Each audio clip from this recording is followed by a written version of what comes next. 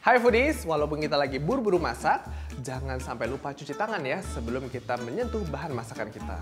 Bayangkan ada ratusan bahkan ribuan kuman di tangan kita yang bisa menyebabkan penyakit. Yuk gunakan Lifebuoy Kitchen Fresh yang ampuh membunuh kuman hanya dalam waktu 10 detik. Tangannya udah bersih, mari kita mulai masak. Let's get cooking.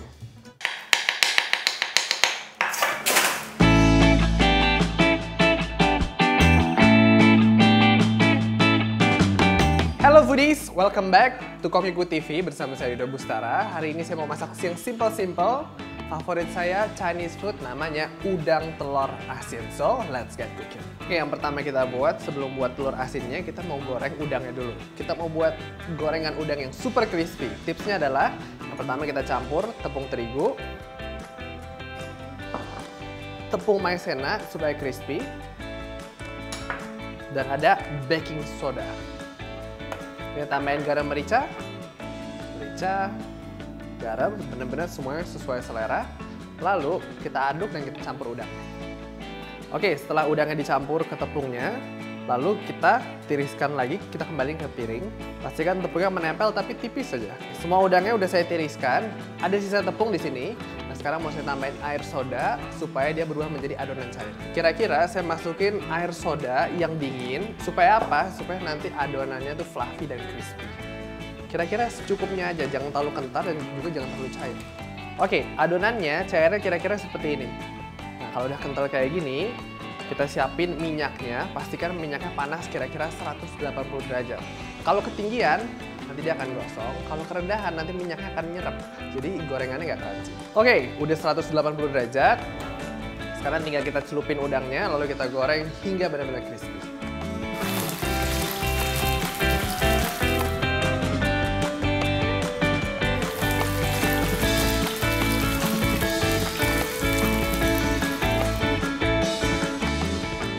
Oke, udangnya udah crispy. Kita sisihkan dulu, biarkan dia ditiriskan sampai minyaknya benar-benar turun. Sekarang kita mau buat saus telur asin.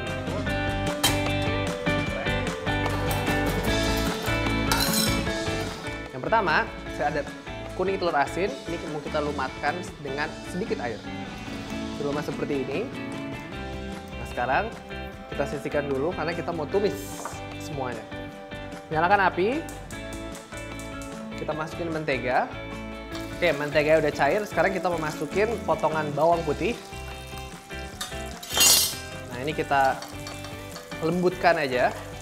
Kalau udah harum dan lembut, jangan sampai gosong ya. Kalau gosong nanti dia pahit. Kita masukin daun kari. Atau enggak daun kari ini disebut uh, daun salam koja.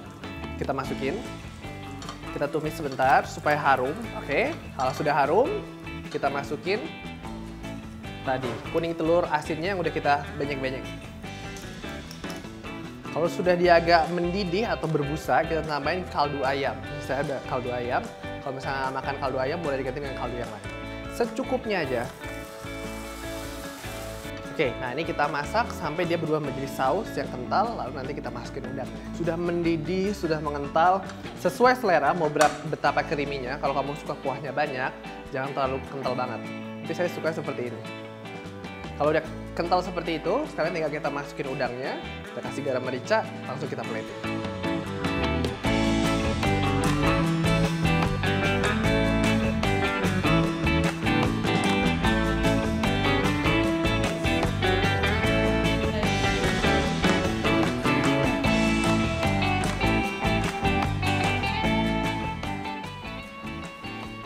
Nah, foodies, udang telur asinnya udah jadi. Sebelum dan sudah masak, jangan lupa cuci tangan supaya kuman-kuman di tangan kamu nggak lagi nempel dan masuk ke mulut kamu. Dan juga tadi bau-bau amis udangnya nggak lagi nempel di tangan.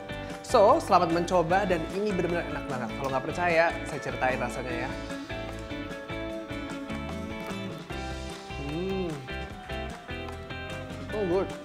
Kayak di restoran Chinese food. Jadi sekarang nggak usah beli lagi, bisa langsung.